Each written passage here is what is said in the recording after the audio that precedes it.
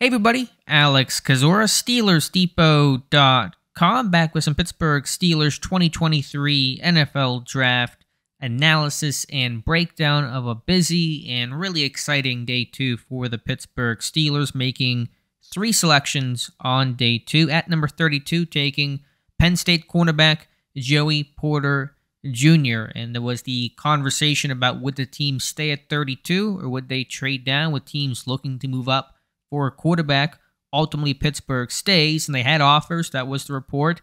And then you saw Tennessee one pick later go up to 33 to take Will Levis. And so you can, you know, say with 99.9% confidence Pittsburgh could have traded down, but they stay and take Porter, who was a viable option uh, at number 17. He falls out of the first round, and to get him at 32, I think is really good value. I think at 17, I would have been fine with the pick. His game didn't necessarily wow me. I thought it was just, you know, steady, you know, solid tape, nothing incredibly impactful.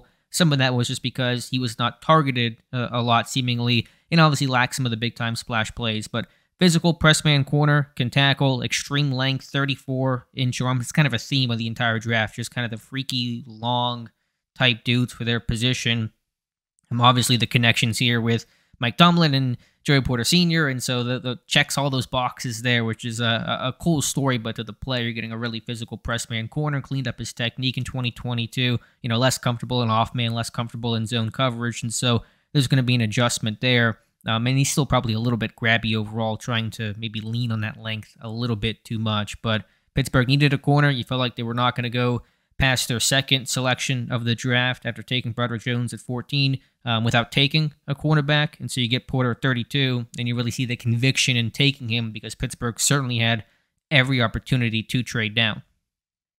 With the 49th pick, the Pittsburgh Steelers selected Wisconsin defensive lineman Keanu Benton, and DC Teryl Austin said he'll be a nose tackle to start his NFL career, and they'll go from there. If you followed my channel for the last couple of months, the la- the first uh, 2023 NFL Draft video I did was on Keanu Benton, entitled "Why Keanu Benton is a Perfect Fit for the Pittsburgh Steelers," and that remains true the whole way through this process. It is so hard to find in this day and age defensive linemen that are the prototypical kind of conventional old school defensive lineman that Pittsburgh gravitates towards. The guys that are 6'4, 6'5, 300 plus pounds with 33 plus inch arms. You just don't find those guys too much because the college game with running quarterbacks and guys getting smaller, you got, you know, smaller, shiftier, more athletic, uh, you know, one gap type of guys, the Aaron Donalds of the world, the Calijah Kanceys of the world. And so to get a body type like Ben, just just that alone before you can even consider the tape is hard to find. And then you put on the tape, you know, stack and shed, quick hands, some pass rush juice, um, is a guy that you know I think overall you know plays to run well. Uh, you know, in that great Wisconsin system that Pittsburgh's you know drafted from many times over the last several seasons. He's got a wrestling background. All that's really impressive. A guy that I think has the the size and length and experience to play. You know, three tech, some four eye, play out on the edge. Um, now his foot speed's not great. He's got to be more consistent in the run game. Stay on his feet. Thought he was on the ground a bit too much. Um, has to still develop as a pass rusher. Never going to be a you know, Cam Heyward, double digit sack kind of guy. He's not that level of ath- uh, athleticism, but a guy that can, I think, give you pass rush juice at a base for sure against centers, and somebody that can probably rotate in sub packages as well, not just your typical two down, run down type plugger. He's not going to be that kind of guy. My NFL comp to Benton was Dalvin Tomlinson, and that's a guy that gets about you know two to three and a half sacks per season. I could see that basically being the range for Benton, maybe in that three to four uh, sack kind of range. And so, really good pick there. Uh, good Senior Bowl week. Again, just checks all those boxes. Pre draft visit. Um, again, just trying to find that body type is really hard to find. And they found it with Keanu Benton. Steelers had pick 80. They traded down with the Carolina Panthers, getting pick 93 and a fourth rounder. I believe that is 123. I'm not looking at it uh, right now, to be honest with you guys, but kind of had to trade that pick from 80 because if you did you made a pick there, you don't pick again until 241. And trying to bridge that gap kind of becomes difficult. You'd have to trade a future pick, and that's never really an ideal thing to do. And so I think it was pretty obvious at some point Pittsburgh was going to go down. They like Porter so much at 32. They like Benton so much at 49. they didn't want to go down, so he kind of had to go down at pick 80. But at 93, you get a pretty good player in Darnell Washington, the tight end from Georgia. And if you're wondering why he lasted so long, a guy that was, you know, thought to be a potential late first round pick, apparently there's some medical concerns, uh, according to Albert Breer, Ian Rapoport, some issues over the knee uh, at the combine. And I think some teams had him off the board for that. Now, Washington says he's healthy, he's good. He's only had one surgery on his knee. He's had some injuries over his career. There was a foot uh, surgery in 2021. He missed spring ball in March of 2022 with what was called a lower body injury. I'm going to assume that was the knee. And he is kind of that awkward, tall type. And, you know, for guys that want to tackle him, you got to go low. You can't go high on Darnell Washington, who's almost six seven, you know, 260. You don't go high and try to wrap up. So, you know, guys go at his knees, and maybe that's kind of the concern there. Even if his medical was squeaky clean, maybe that was kind of a thought. You know, you worry about you know somebody you know blowing out your knee because they're they're going low to tackle you. But overall, um, it's worth the risk. A to trade down, still get this guy. I said, you know, pre-draft, he's a one-on-one type player. Even in a very deep and excellent tight end class, there was nobody quite like Darnell Washington. His length, his run blocking you watch the combine, go back and if you see the clips, go watch the combine of him on the blocking sled. And usually these tight ends, because they're big athletes, they're you know just big tight ends, F move tight ends.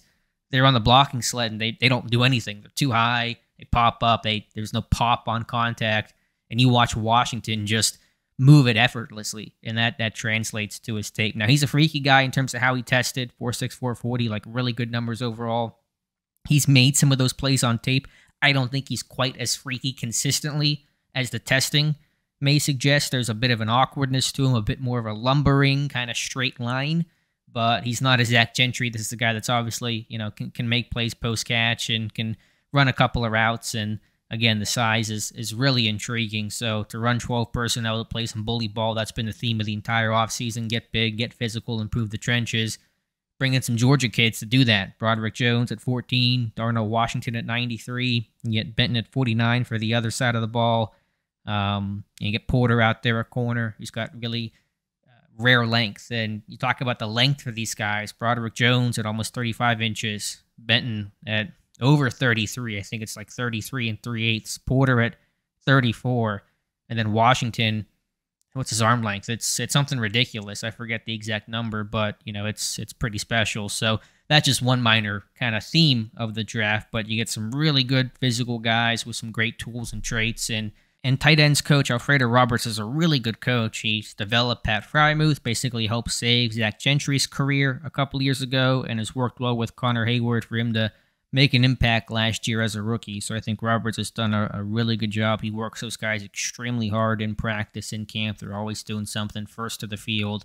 And so he's going to, you know, have a great lump of clay to work with in Darnell Washington. So overall, really happy with the day two picks. Um, it, things aren't perfect. You know, Benton's never going to be a super high upside pass rusher, and there's some consistency and probably some technical things to work on you know, Porter can be grabby and he can be a bit over aggressive and not always process as well as you'd like and, you know, struggles more and off. You can't press man 100% of the time. Pittsburgh still plays zone about 55 or so percent of the time.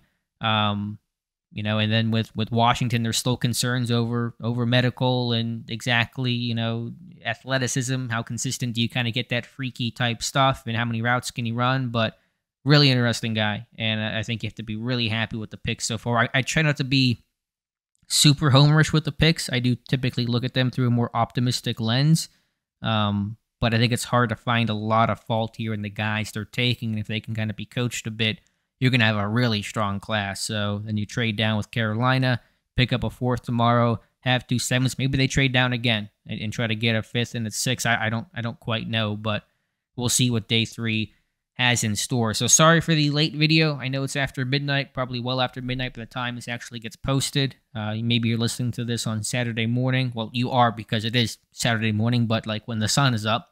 Um, just been so busy with the site, and thank you guys who have come to the site and commented and visited and uh, supported us. It was a fantastic day for Steelers Depot, and I think a really fantastic day for the Pittsburgh Steelers. So let me know your thoughts in the comments below. Appreciate you guys listening.